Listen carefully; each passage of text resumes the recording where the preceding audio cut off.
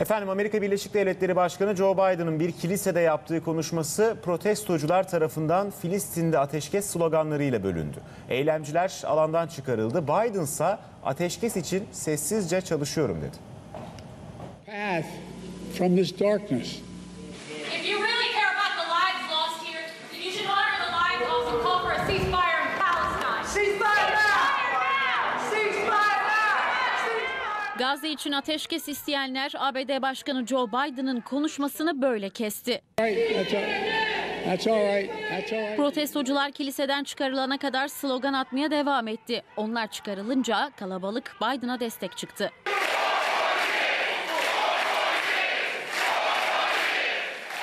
ABD Başkanı siyahların çoğunlukta olduğu Charleston'da bir kilisede konuşma yapıyordu. Konuşmada beyaz üstünlüğü kınadı, destek aldı. Tam o sırada kalabalıktan sesler yükseldi.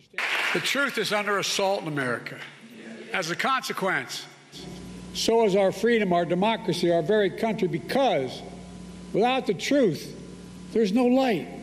Without light, there's no path from this darkness. If you really care about the lives lost here, then you should honor the lives also call for a ceasefire in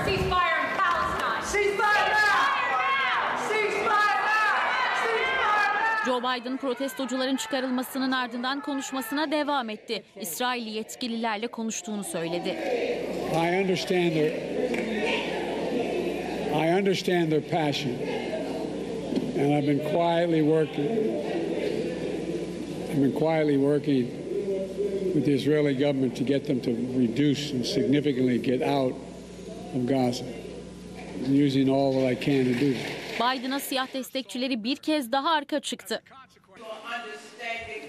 thank you. They'll realize that. You're a good man. Thank you.